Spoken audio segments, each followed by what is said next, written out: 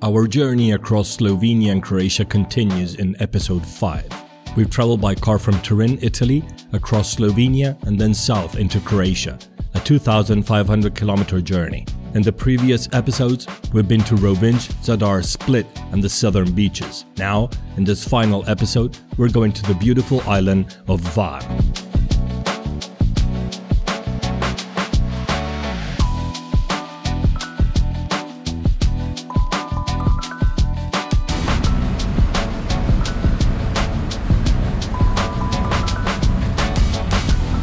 Dove vai con quegli occhiali?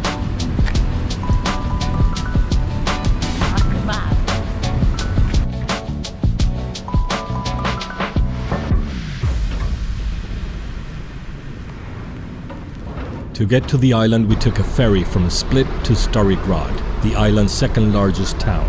A two hour navigation trip that costs around 80 euros each way for the two of us plus our car.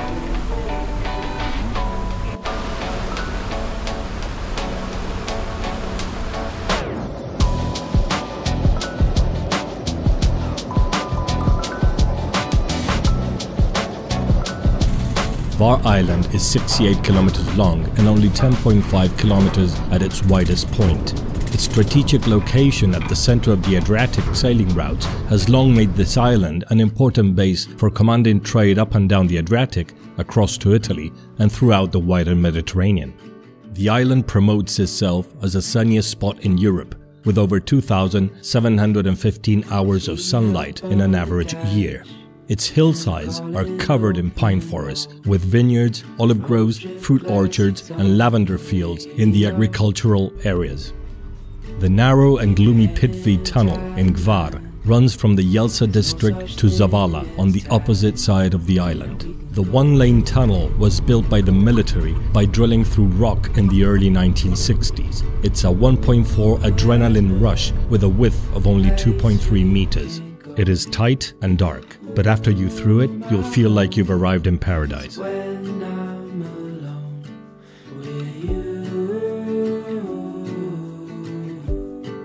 Hvar has a very mild Mediterranean climate, several beaches, and Mediterranean vegetation that make it one of the most attractive tourist centers in Europe.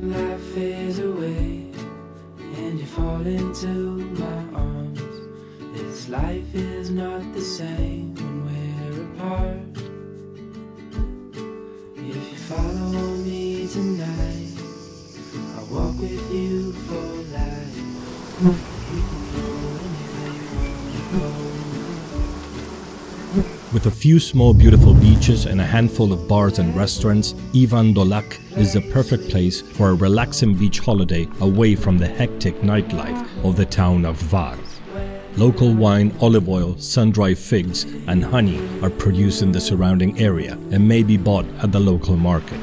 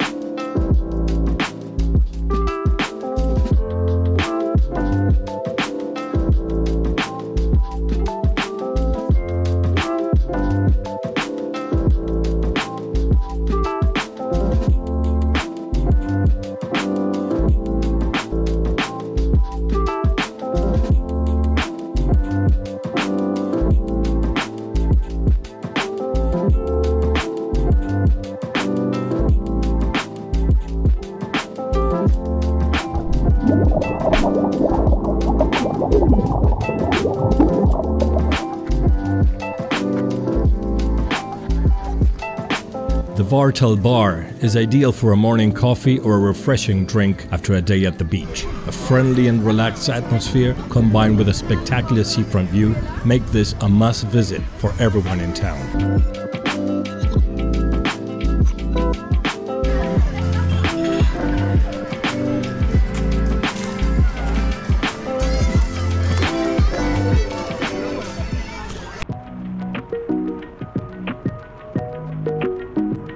We went to Zavala to visit a local couple who made wine and olive oil to buy straight from them. And after several tastings, we purchased a few bottles to take home.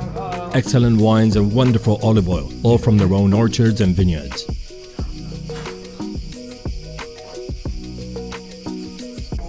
Their wines had been awarded many international prizes in numerous competitions, but at the moment they were struggling a bit because of a work accident he suffered while working on the vineyard.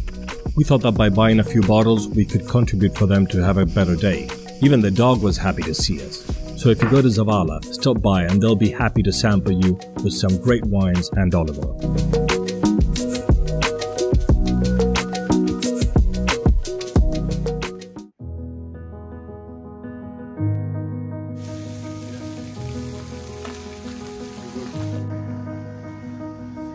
At night, we went for dinner to a local restaurant run by a young local couple called ROT, R-O-T, an open-air restaurant that offers only local grown food, local wines and grilled meat and fish harvested in the surroundings. Definitely worth visiting. A dinner for two with a whole grilled fish for each, two or three side dishes and a bottle of wine will cost you about 30 to 35 euros per person.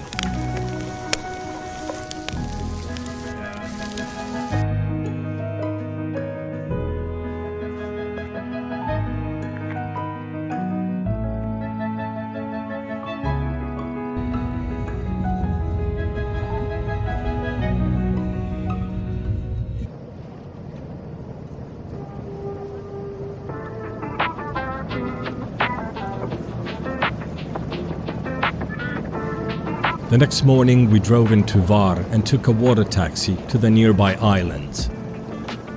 The Pakleni Islands are a series of islands just in front of the town of Hvar. However, we did not have much time and only visited the nearest ones, which are not the best ones. I recommend that you set aside at least half a day to go snorkeling and swimming to the most stunning offshore islands.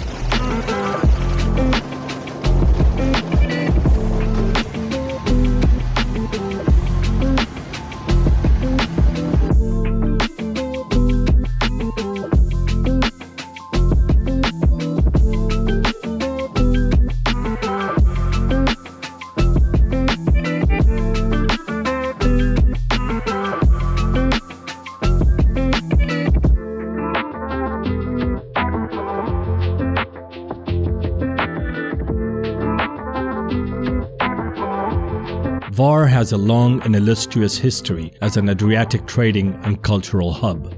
It was an important naval station with a formidable castle above, enclosing the town walls and guarding the harbor from the 13th century to the 18th century as part of the Venetian Empire.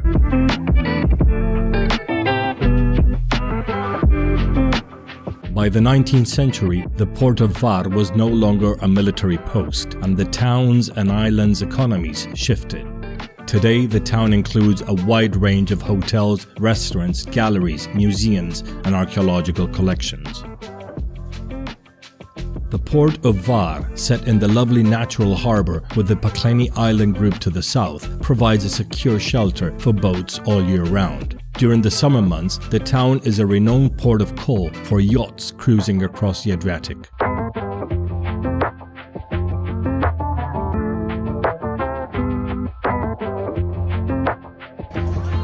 What makes it unique and why is it a popular travel destination? Its rich history, outstanding gastronomy, vibrant nightlife, and breathtaking landscape draw both worldwide celebrities and regular travelers. I can hear the sound of violins long before it begins. Make the thrill as only you know how. Sway me smooth, sway me now.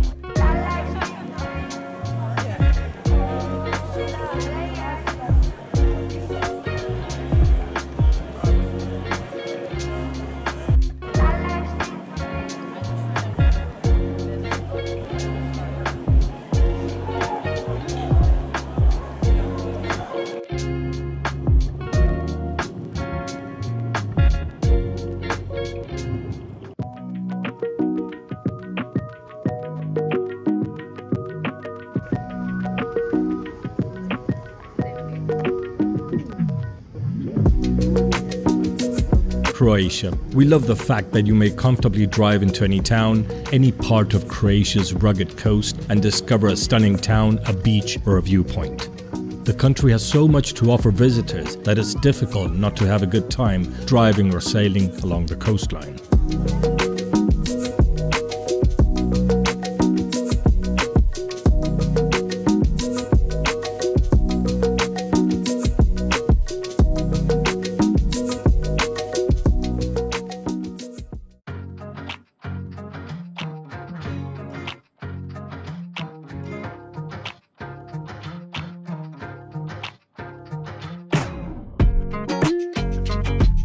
Today is our final day of the trip, and we are already planning our next trip next summer to continue discovering the wonders of this nation. For the time being, our journey is coming to an end. We've done our best to share our experience with all of you through our five episodes, but it's far from enough to see everything this beautiful land has to offer.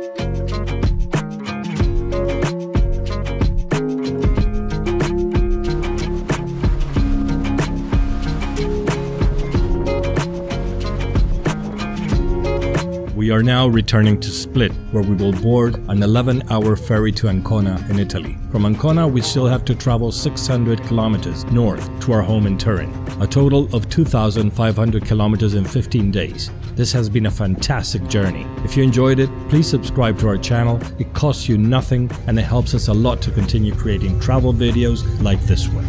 This is Mark from Go Travel Planet signing off and really hoping to see you again on our next adventure. Until then, ciao, alla prossima!